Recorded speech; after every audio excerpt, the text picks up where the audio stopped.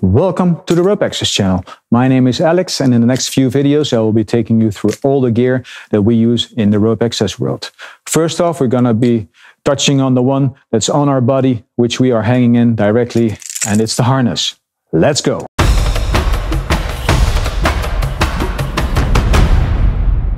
There are countless different types of harnesses, ranging from very basic ones with maybe one or, or maybe two, like with an attachment point in the back that are used in cherry pickers as a fall arrest harness, to a little bit more complicated, maybe some padding added with uh, attachment points on the side where you can position into, all the way up to the more complicated ones like the one I have here. The one I have here is one specifically designed for rope access world, and you can tell because there's an integrated chest ascender. This is the Astro made by Petzl. It's a nice harness. It has five attachment points, one on the back, one on the front. These are both as a fall arrest attachment point for your backup. We have the central D-ring, which is your ring that you attach everything to and you position yourself in when hanging on the ropes. And two additional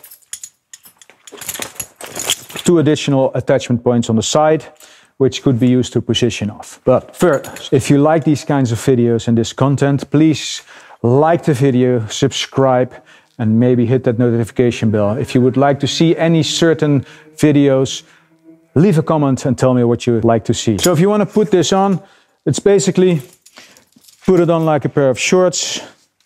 One, two, put your feet through. Then we have the shoulder straps. Put one over your head. Uh, touch it a little bit, make it a little bit higher. Now you can adjust your, your clothing underneath. Then we do up the waist belt.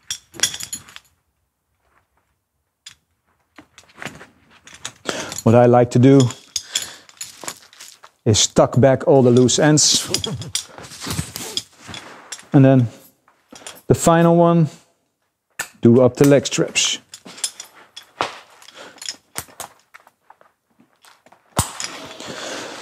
Things to pay attention to is how tight do you do the harness? Starting with the leg loops. It's tight enough if you can put your hand through, if you make a fist and then when it's very hard to pull back, that's good. And the same goes for the hip belt, right? It's very tight right now. The shoulder straps are less important because right now they feel tight, but if I would be hanging in the rope attached from this, I will squish down because I'm hanging in it and then it's loose again. So these two you adjust as you work and move around. So like I said, a rope access harness has an integrated chest ascender, which you can use to put the rope in, and then you can ascend the rope. So this slides up the rope, but doesn't go down. As we have adjusted the harness, then we also have a ring on the back, right here. That should be approximately in between the shoulder blades. But a thing that's very comfortable when you're working, especially when you're ascending a lot and using the chest ascender a lot, is if you have some room to move here and make it more tight. My personal preference is to have it a little bit on the lower side so I can make this more tight. If this is on the high side, then I, do, I have less adjustability here to tighten it up. Now we have the harness put on properly. All the loose ends are tucked away. It's tight enough. We get into a little word of thanks from our sponsor, Industrieel Klimmen in the Netherlands.